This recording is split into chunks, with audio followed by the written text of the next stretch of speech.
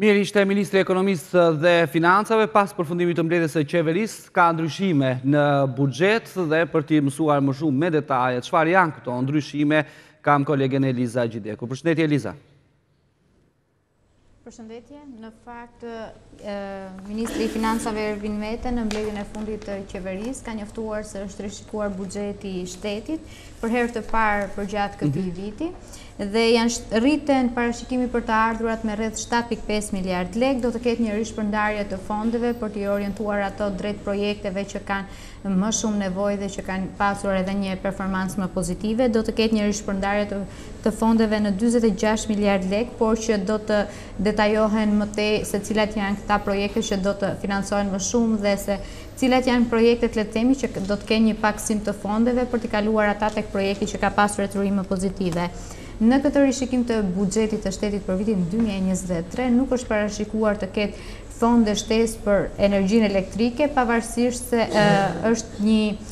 ende vendi është në krizën e emergjencës së furnizimit me energji elektrike, por për shkak se çmimet në bursë kanë qenë konstante dhe kanë pasur një rënie duke u kthyer në shifrat e para krizës, nuk është vlerësuar e domosdoshme që të ketë një fond edhe për këtë aspekt. Më pas janë përcaktuar dymbëdhjetë miliardë lekë për procesin e rindërtimit, ashtu siç edhe ministri e theksoi, deri më tani janë përdorur tetëqind e nëntëdhjetë milionë euro vetëm për procesin e rindërtimit dhe për bonusin e qirasë për familje që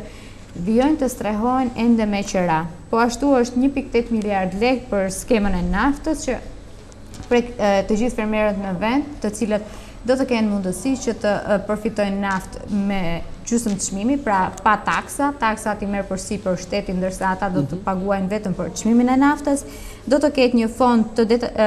të rritur për të ish ish të përndjekurit politikë dhe e fonde të specifike për projekte të rëndësishme infrastrukturore, por që pritet të detajohen në relacionin që do të shoqërojë aktin normativ të miratuar nga Qeveria dhe që shumë shpejt do të kalojë edhe në komisionet parlamentare për të marrë, le të themi, edhe miratimin apo për të pësuar ndryshime dhe rishikime të tjera në rialokimin e fondeve që do të bëhet për të gjitha institucionet dhe për të gjitha projektet infrastrukturore. Vlen të theksohet se ky rishikim i buxhetit të shtetit vjen në një periudhë që të ardhurat janë në një rritje të konsiderueshme nga viti i kaluar. Pra, kanë tejkaluar parashikimet e vendosura në fund të vitit dy mijë e njëzet e dy, kur është hartuar edhe buxheti i shtetit. Për këtë arsye, është parë e nevojshme që të ketë një rishikim të buxhetit të shtetit për të ndryshuar zërat si në kahun e të ardhurave, ashtu edhe në kahun e shpenzimeve.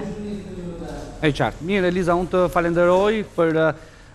këto informacione, sigurisht për zbërthimin me detaje të ndryshimit të buxhetit nga ana e qeverisë. Faleminderit.